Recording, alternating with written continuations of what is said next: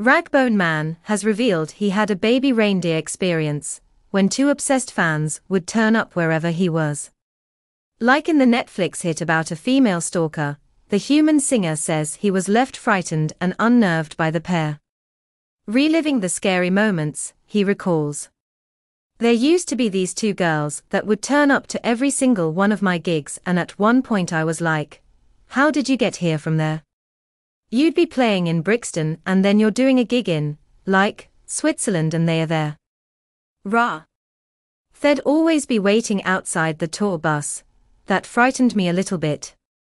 You're tired, you probably only had a few hours sleep, because it's bumpy then you open the door and you're like, oh, thing hell, hello. It's a bit disconcerting.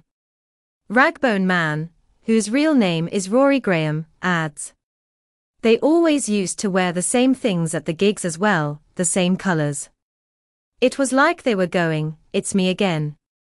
And he likened constantly seeing the girls to a scene from Steve Coogan's Alan Partridge series, when fictional broadcaster Partridge met a fan who had a shrine to him in his house. It just reminds me of that, says the singer. Do you know what I mean?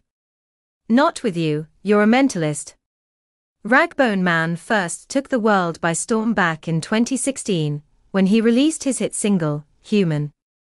His deep, baritone voice is also unmistakable on follow up Skin and Giant. And this year, he has released the hit singles What Do You Believe In? and Lovers in a Past Life with Calvin Harris. On November 16th, he will kick off a seven date UK tour in Leeds and go on to play a further six dates in Europe. Rag'n'Bone Man picked his stage name after watching 1960s sitcom Steptoe and Son at his granddad's house. But he admits that since then, he has come to regret his choice. Speaking to rugby star Joe Marler for his Things People Do podcast, he says, I grew up on blues music and they all had funny, silly names. I always thought it sounded like a blues name. Now I've had points where I kind of regret that name because it's so stupid.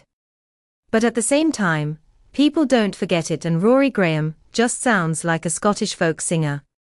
There are certainly far less suitable names he could have picked.